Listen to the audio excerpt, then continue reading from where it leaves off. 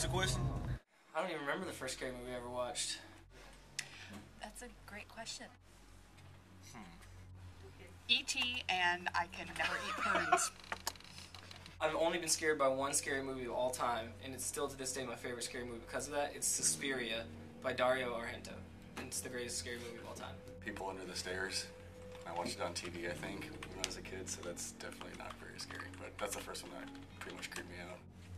Exorcism of Emily Rose because it seemed real.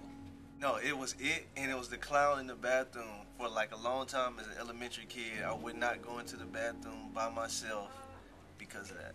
Poltergeist, hiding in the hallway, and there was a tree that scratched on my window at night, so pretty much spent year five terrified to sleep.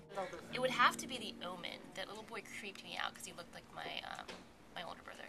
The first scary movie I remember was The Exorcist, and it f***ed me up because there was a scene in there where they went in the attic and there was a big flame, and it, I was a little kid and I would never want to go up in the attic after that. I don't remember the first movie, but when I was 10, I saw Jurassic Park, and it's really terrifying, and I still have never finished it. I'm afraid of watching. I can't finish Jurassic Park because it's too scary. Exorcist on TV, and it was at the exact moment where she was crawling down the stairs backwards, and the the sound was low, so I couldn't hear what was going on. But in my head was like.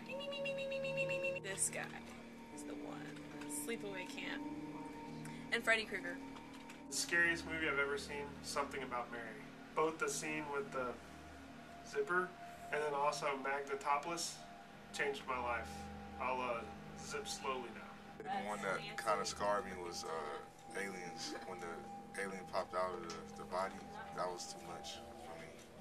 The birds, because I went out to the pool the next day and there was a flock of birds in the pasture behind it, and I ran home with the asphalt sticking to my feet in the middle of the summer. want to watch this horrible movie because I will I would have um, that in a nightmare. I would probably say Schindler's List because uh, of all the fascism. I am still terrified of fascists.